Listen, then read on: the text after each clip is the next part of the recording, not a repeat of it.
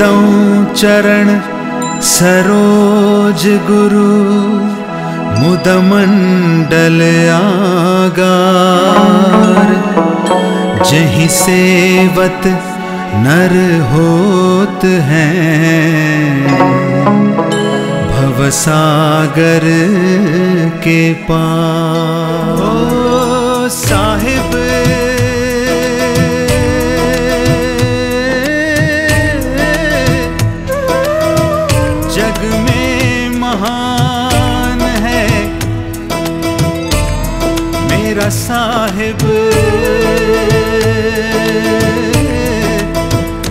जग में महान है। तेरे चरणों में मेरी जान है मेरा साहिब सत्य समान है। मैं बंदगी साहिब की करूँ मेरा साहिब ही भगवान है। साहिब जग में महान है। साहिब बंदगी साहिब बंदगी साहिब साहिब बंदगी साहिब बंदगी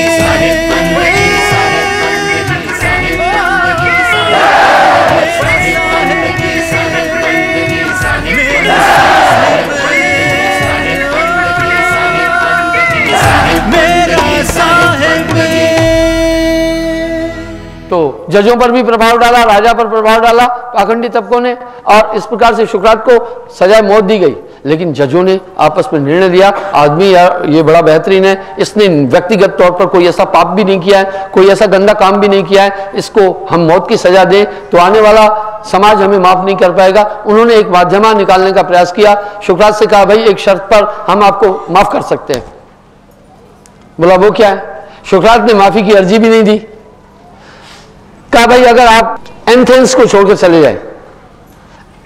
एंथेंस में रहते थे। अगर आप इसे छोड़ के चले जाएँगे आपकी, आपका मृत्युदंड माफ़ हो जाएगा। शुक्रात ने कहा, फिर मैं कभी भी नहीं मरूँगा। जजों ने कहा यह तो बड़ी बेवकूफ़ी वाली बात है। हम ऐसा नहीं कह रहे कम से कम अभी आपको हम मौत की सजा नहीं देंगे, अगर आप एंथेंस को छोड़ करके चले जाएँ। शुक्रात ने कहा, नहीं मरना तो है ही कभी ना कभी, क्योंकि मैं गलत तो कुछ कह नहीं रहा हूँ। अगर आपकी निगाह में मैं गलत हूँ, मुझे फांसी दे दो, मुझे इसकी कोई चिंता नहीं है, पर मैं एंथेंस छोड़ करके नहीं चला जाऊँगा।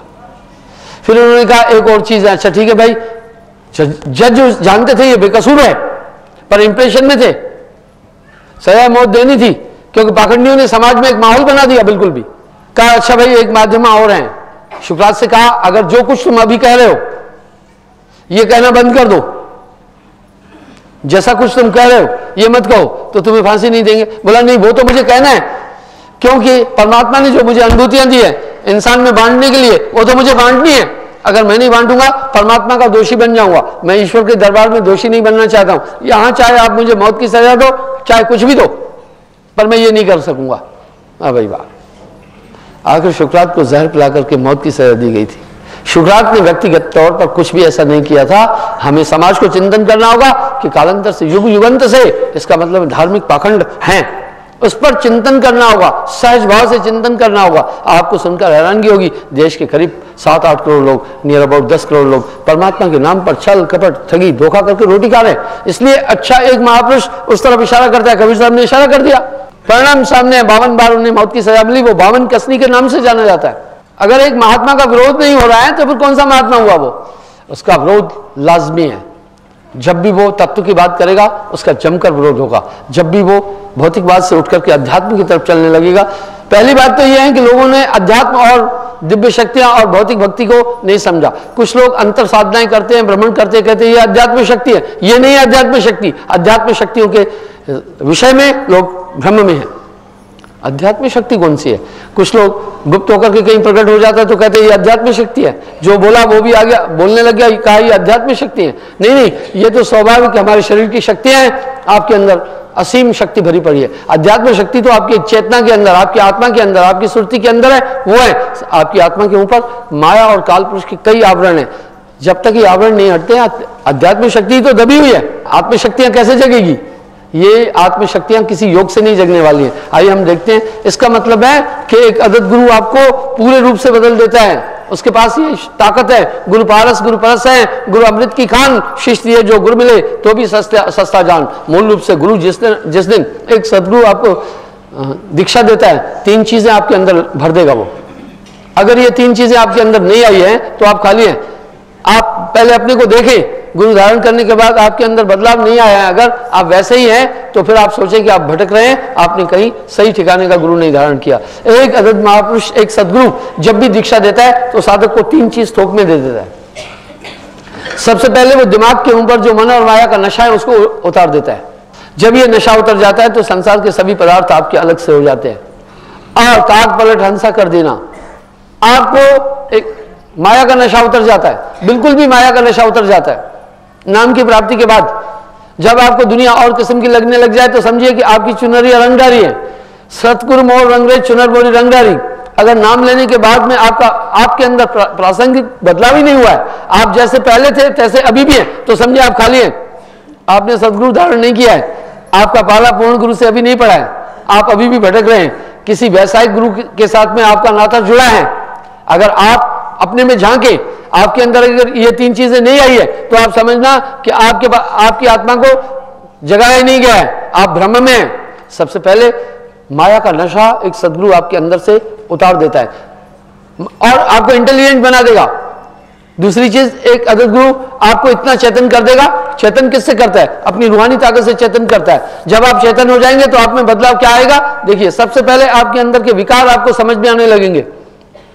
अगर आप नाम प्राप्त करके पाप भी कर रहे हैं छल कर रहे हैं, कपट कर रहे हैं सोचिए, अभी आप खाली हैं, अभी आप सुने हैं, आपके पास नाम की दौलत अभी नहीं पहुँची है, आपके पास गुरु की शक्ति अभी नहीं पहुँची है, जब ये अंतर के मत्सर, इसी वस्तु के लिए तो गुरु की प्रासंगिकता, गुरु की ज़रूरत पड़ी, बाकी अध्ययन करना है, बाकी चीज़ें करना है, वो तो आप अपने अनुभव से भी कर सकते हैं, लेकिन वस्तु अमोलक, देह में सतगुरु दीन सूरज सहदानी, जिस समय ये ताकत आपके अंदर आ जाएगी आपको रोशन कर देता है, गुरु, काग, बलट, हंसा कर देना। जब आप में ये अध्यात्म शक्तियों का संचार होने लग जाता है, आप वैकअप हो जाते हैं, आप पूर्ण चैतन्य हो जाते हैं। आपको नज़र आने लगेगा, अपने अंदर का पूरा झगड़ा। आपको समझ में आने लगेगा, मन और माया का खेल आपको दिखाई देने लगेंगे। काम क्रोध, लोभ, मोह, अहंकार, काग, पलट, हंसा कर देना, ऐसे ही नहीं। आप किसी भी पाप कर्म को तब नहीं कर सकते हैं। गुरु के बिना ये हृदय शुद्ध भी नहीं हो सकता है, चाहे कोई करोड़ों प्रयास क्यों न करे। क्योंकि गुरु अध्यात्मिक शक्ति द्वारा ये सब काम पल भर में कर देता है। कोटि जन्म का पंथ था गुरु पल में दिया लखा है। सदगुरु मोरा सूरमा कसके मारा बाण, नाम अकेला रह गया पाया पद निर्माण। मन अगर आपका गुलाम नहीं हुआ तो फिर गुरु ने दिया क्या? गुरु मन को एक दायरे में कस देता है। एक सदगुरु आपके पास बड़ी अध्यात्मिक शक्तियाँ पहुँचा देता है ट्रांसमिट कर देता है अपनी अध्यात्मिक शक्ति के द्वारा। तभी तो सदगुरु की महिमा इतनी कह दी, गुरु गोविंद, दोनों खड़े, काके लागू पाए, बलहारी गुरु आपनी गोविंद दिया रख, दसाए। कबरा हर के रूटते गुरु की शरणी जाए कहे कबीर गुरु थे, प्रभु नहीं हो सहाय यहाँ प्रासंगिकता गुरु की शक्ति की बढ़ रही है। वो कह रहे गुरु पारस साहबवाणी में कह रहे हैं गुरु पारस है, गुरु अमृत की खान, शिष्ट दिए जो गुरु मिले तो भी सस्ता जान। जब गुरु आपकी आत्मा को अपनी सुरती का स्पर्श देता है तो काग पलट हंसा कर देना। पारस में और संत में, तू बड़ो अंतरो जान, वो लोहा कंचन करे, वो कर ले आप समान। ये अध्यात्म शक्ति दूसरी ये गुरु देता है। जब ये शक्ति आ जाती है, मन आपका मुरीद हो जाएगा, पूरी क्रियाओं में बदलाव आ जाएगा। पाप कर्म आप चाहकर भी नहीं कर पाएँगे। ठगी आप कर, चाहकर भी नहीं कर पाएँगे। गुरु का आत्मस्पंदन आपके साथ जब हो गया तो आप बदल जाएँगे। आप वो नहीं रहेंगे। तभी तो कबीर साहब अपनी वाणी में कह रहे हैं, जब मैं था तो गुरु नहीं। अब गुरु है, मैं ना है। प्रेम गली अति साकरी तामी दुई ने समाये। इसलिए भाइयों चेक करना अपने आप को। कोई बच्चा कहता है, बहुत अच्छा हूँ पढ़ने में। तो उसका आप मार्कशीट देखते हैं कि नहीं? जब रिज़ल्ट आता है, उसका परिणाम देखते हैं कि नहीं? जब वो ज़ीरो ज़ीरो है तो कैसे वो कैसा अच्छा ब्रिलियंट है? आप सीधा कह देते हो भैया, तुम्हारा ये रिज़ल्ट तो बता रहा है, तुम बहुत कमज़ोर हो। इसी तरह अगर आप अपने को झांकिएगा अगर आप में बदलाव नहीं आया, आपकी आत्मा चेतन नहीं हुई है, आप पाप कर्म कर रहे हैं, आप छल कर रहे हैं, आप धोखा कर रहे हैं, आप ठगियाँ कर रहे हैं, आप विचार कर रहे हैं तो आप समझिएगा, गुरु का सही स्पंदन, सही स्पर्श नहीं हो पाया। आप सच्चे गुरु के संपर्क में आए ही नहीं है। जब आप सच्चे गुरु के संपर्क में आते हैं, वो अपनी अध्यात्म शक्तियाँ आप में ट्रांसमिट कर देता है। काग पलट हंसा कर देना, यही तो एक अलौकिक चीज़ है। इसी कारण से वाणियों में साहब ने गुरु के महात्म को अत्यंत ऊँचा दर्जा दिया। गुरु हैं बड़े गोविंद से मन में देख विचार, हरि सुमरे सो, वार हैं, गुरु सुमरे सो, पार। कबरे, कबरा हरि के रूठते, गुरु की शरणी जाए। कहे कबीर, गुरु रूठते, हरि नहीं होत सहाय। दूसरी ताकत एक बहुत बड़ी आपको ये गुरु दे देता है। आप में एक बहुत बड़ा बदलाव बदलाव इतना दे देगा कि आप अपनी पुरानी स्थिति को तोलेंगे और देखेंगे तो आपको लगेगा, परम बेवकूफ़ था, बड़ा बेवकूफ़ था, मेरे कर्म भी शुभ नहीं थे, मेरा आचरण भी शुभ नहीं था, लेकिन उसके, जो वर्तमान में तोलेंगे आप तो आपको लगेगा, ज़मीन आसमान का अंतर, बस इतना सा अंतर लगेगा, काग पलट, हंसा कर देना, और करत लागी बेर, यानी कबीर साहब कह रहे टाइम भी नहीं लगाएगा। वाह, ना रब में तीर्थांत डिठिया ना रोजा नमाजे, बुल्ले शाहनु मुर्शिद मिलिया अंदरों रब लखाया, ये सब काम पल भर में करता है। कोटि जन्म का पंथ था पल में दिया लखा है। वाह, ये अध्यात्म शक्ति आपके अंदर गुरु संचारित करता है। आपकी आत्मा वेकअप हो जाती है। जब ये हो जाती है, अंदर के पूरे शत्रुओं का खेल समझ में आने लगता है। मन, बुद्धि, चित्त, अहंकार पकड़ में आने लगते हैं। काम क्रोध, लोभ, मोह, अहंकार कस जाते हैं। रहते हुए भी आप पर प्रभावित नहीं होते हैं। बस आपको प्रिजर्व कर दिया गुरु ने। वैसा ही प्रिजर्व कर दिया नाम देने के साथ जैसे आज वैज्ञानिक युग में आप देखिए सीड को जो हाइब्रिड सीड है उसको पहले ही प्रिजर्व किया, किया गया है।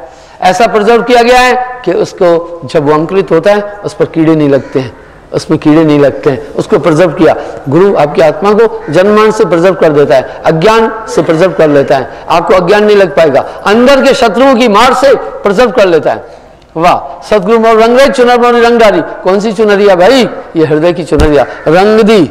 पहले ये सुनैया मैली थी। इस पर मन और माया का प्रकोप था, प्रभाव था, वो खत्म कर देता है गुरु। तभी तो आप इतने बदल जाएँगे कि जब मैं था तो गुरु नहीं, आप बस अब गुरु है, मैं ना है। वो मैं का वजूद जो बड़ा खतरनाक है, ये मैं क्या था? ये मैं क्या था? कह रहे, अब मैं ना है।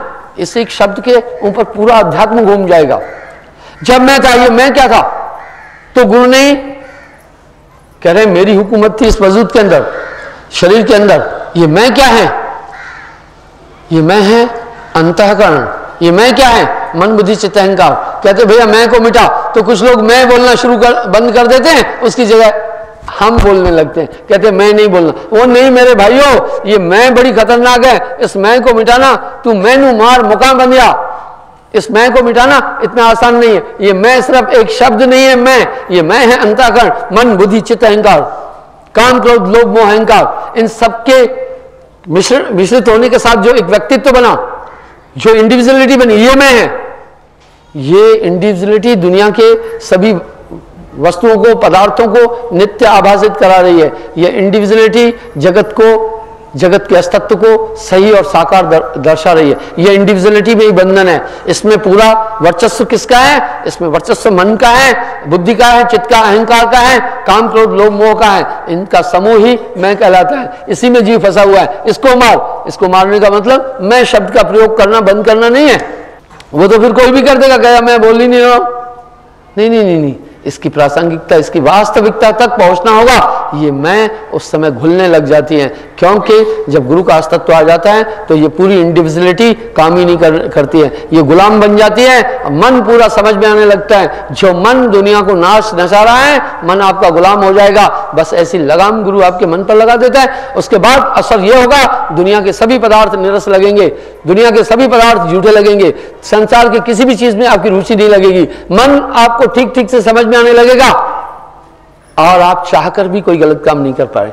सोचिए कि अब गुरु का स्पंदन आपके आत्मा पर हो चुका है। अब आप में बदलाव आ गया। इसी पॉइंट पर साहब करें जब मैं था तो गुरु नहीं, अब गुरु है, मैं ना है। प्रेम गली अति साकरी तामे दुई ने समाये। तब क्या? अब गुरु है। गुरु कैसा? तीसरी पॉइंट यही देते हैं गुरु। आपको 24 घंटे लगेगा, मेरे साथ एक सजीव ताकत रह रही है। वो है गुरु। इन सब का संचालन करने लगती है वो ताकत तब। पहले हृदय का संचालन कौन कर रहा था? मन कर रहा था। मन बड़ा खतरनाक है। मैंने मन पर बहुत कुछ बोला है। मन ही आहे काल कराला। जीव नचाए करे बेहला, बेहाला। जीव के संग मन काल को वासा। अज्ञानी नर गह विश्वासा। स्वाभाविक इस मन का रुझान संसार के पदार्थों की तरफ़ है। मन और माया एक है। मन का हमेशा गठबंधन है माया के साथ में, इंद्रियों के साथ में। ये गुथे हुए हैं, मिले जुले हुए हैं। एक संभाव चलते हैं एक ही डगर पर चलते हैं।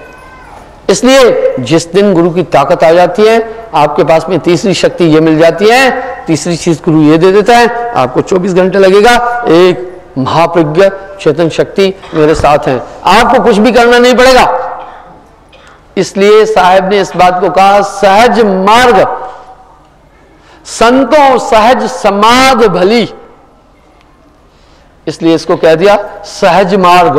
आपके साथ में ये स्वाभाविक शक्तियाँ काम करने लगेगी, आपके साथ में ये दिव्य ताकतें काम करने लगेगी और आप परम रोशन और चेतन हो जाएँगे। चाह कर भी आप बुरा कर्म नहीं कर पाएँगे, आपको ये पूरी दुनिया पागल सी लगने लगेगी। इसी जगह पर फिर कह रहे हैं, गुरु बिन हृदय शुद्ध ना होई। कोटिन भांत करे जो कोई। कितनी भी बड़ी विद्याओं की हम प्राप्ति कर लें। मैंने पहले भी कहा है, पेशे से मैं एक अध्यापक भी हूँ। मैं शिक्षा के खिलाफ कहीं भी नहीं हूँ।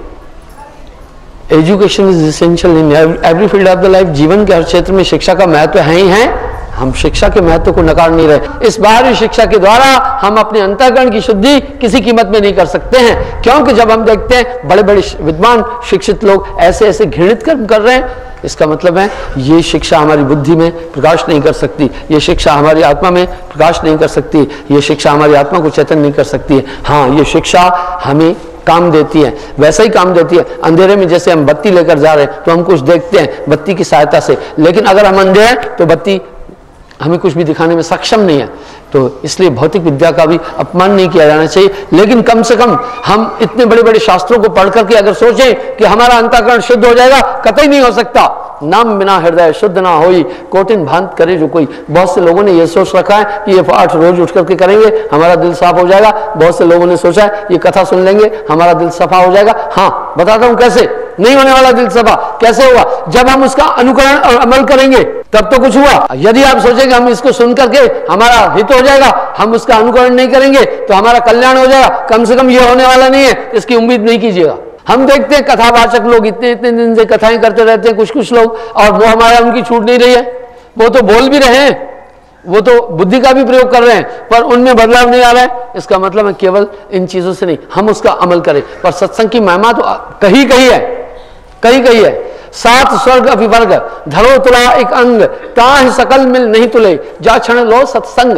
वह, कबीर साहब ने एक अपेक्ष किया। पोथी पढ़ पढ़ जगमुआ पंडित भयानक होए ढाई अक्षर प्रेम के पढ़े से पंडित होए। आइए तो क्या कबीर साहब कोई व्यंग, व्यंगकार थे, अपेक्ष करने वाले थे, या आलोचक थे? नहीं, उन्होंने सत्य को अपने तरीके से सहज करके, बहुत सहज करके बोला। उनकी वाणी में बड़ा मिठास है। देखिए वो खुद कह रहे हैं, कटु, वो बोलना कभी भी नहीं चाहते थे। कह रहे हैं, वाणी मीठी बोलिए, दिल का आपा खोए, औरों को शीतल करे, आप भी शीतल हो। मधुर वचन है औषधि, कटु वचन है तीर्थ स्वर्णदार है संचरे साले सकल शरीर। इसलिए उन्होंने कटु शब्द को वर्जित किया है।